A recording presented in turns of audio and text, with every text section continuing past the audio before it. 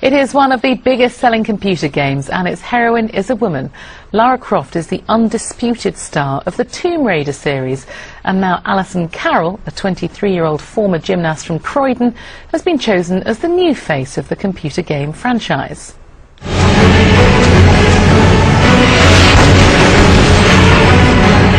Tomb Raider is a worldwide phenomenon. More than 32 million copies of the computer game have been sold since the first in the series was released 12 years ago.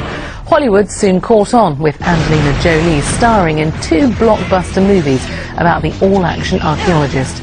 Now a new version of the game is coming out in November.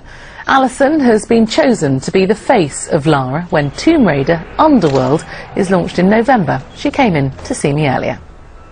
Alison, fantastic. See, quite an outfit. I trust that you wore something else to the studio. Yes, I did indeed, actually, but I'd quite like to be in this outfit all the time. Was it a bit of a shock when they first gave it to you? Because it's quite revealing, isn't it? Well, do you know what? I had because the uh, the outfit's just so iconic, isn't it? And I just felt confident. I felt independent, and yeah, I feel like I really am becoming Lara Croft. Tell me how it started then, because you were working as a receptionist in a golf club, is that right? Yes, I was. Um, it seems such a big jump coming from being a receptionist and now I'm Lara Croft, you Absolutely. know? Um, well, it all happened about a year ago when I like, went for the audition to take on the iconic role of Lara Croft for um, the launch of Tomb Raider Underworld, which is coming out on November the 21st. And yeah, I went along to the audition and it was just so surreal because you had hundreds and hundreds of girls there and with so many different talents, you know. They, there was rock climbers there, there were martial artists and I went in as a gymnast and uh, I performed my um, somersaults and backflips and rolls, all the sorts of things that Lara can do in the game. And uh, I got a recall. So are you still working at the golf course now, or is that all I'm not over? now, no. They all found out yesterday when they opened the papers. so what does this role entail for you now? What do you have to do? Well, obviously training is um, a huge part of it.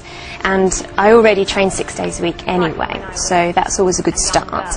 Whether that's going to the gym, whether it's running or gymnastic training. Um, but I'm also going to be doing SAS training. Yes, you've got to do all of this. Why is that? Well, I, Lara has so many different skills that to make her this amazing character, I've got to be able to do everything that she can do to bring Lara to life. Are you um, ready for the attention that this role is going to give you? Because suddenly you're going to be thrust into this public arena, into the limelight, and that might be quite hard. Absolutely, but the thing is, I've I've performed in front of thousands and thousands with my gymnastics.